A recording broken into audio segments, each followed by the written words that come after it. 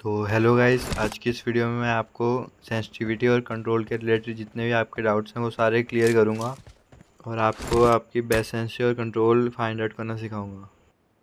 और आप सबसे पहले मेरे बेसिक कंट्रोल्स और एडवांस कंट्रोल देख सकते हो। और ये मेरे कंट्रोल्स हैं, मैं फोर फिंगर जैरो खेलता हूँ। तो अब आते हैं सेंसी कैसे फाइंड आउट करनी है। तो गाइज़ मेरे ओपिनियन में आपको टी वी पी नोस्कोप जो है, वो सिक्सटी फाइव रखना चाहिए। या सेवेंटी के बीच में, एकदम बेस्ट है। हल्का ऑमलेट बना दोगे आप बंदों का। और बाकी की कैमरा सेंसी आप सेम टू सेम कॉपी कर सकते हो। एकदम बेस्ट है जोनाथन बन जाओगे। हैकर जैसे स्प्रे व्रे मारने में आपको कोई दिक्कत नहीं होगी, लोग बोलेंगे इम्बोट लगाया है।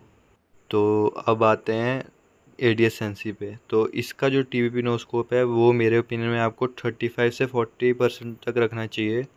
क्योंकि इससे आपका जो हिफायर स्प्रेड है वो काफ़ी लो हो जाता है और आपको हेडशॉट वगैरह मारने में आसानी होगी।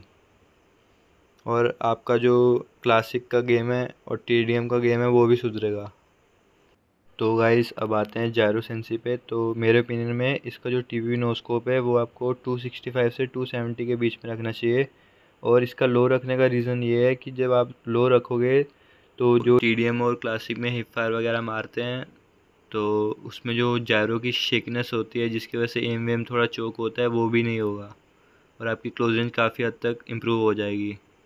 और लो सेंसी रखने का एक और बेनिफिट ये है कि जैसे जो लो ही फायर स्प्रेड वाली गन्स होती हैं, जैसे कि यूएमपी या फिर थॉमसन वगैरह, ये गन्स आपकी क्लासिक में एकदम बहुत तगड़ी चलेंगी। लोग आपको हैकर बोलना शुरू कर देंगे और आपके हेड्स वगैरह भी अच्छे लगेंगे, जिससे आपकी क्लोज रेंज इम्प्रूव हो जाएगी।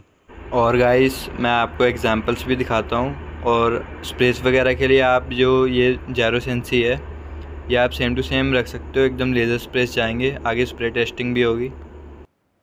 फॉर एग्ज़ाम्पल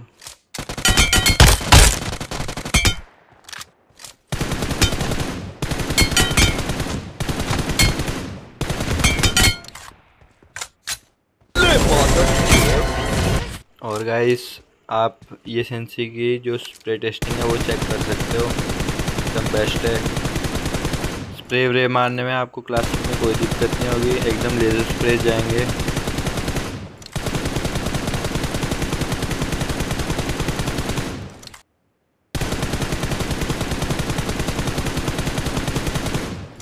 और गाइस ये सेंसी को मास्टर और और ज़्यादा रिफाइन करने के लिए मैं आपको एक ड्रिल बताता हूँ।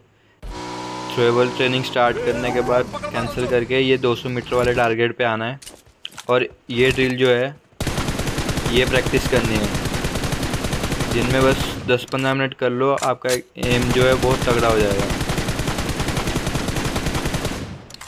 अब इससे ज़्यादा वॉइस ओवर मेरे से नहीं होता है, इसलिए मैं जा रहा हूँ तहल कॉमेंट बनाने तो पकेट